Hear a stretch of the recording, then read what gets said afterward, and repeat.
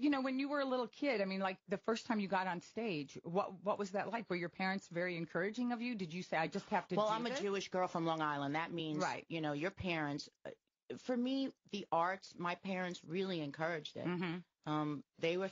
I, I actually, you know, the word would be gifted, I guess. Yeah, I for mean, sure. I clearly was moving in that direction, but for me, it was a complete survival skill. I looked at that family.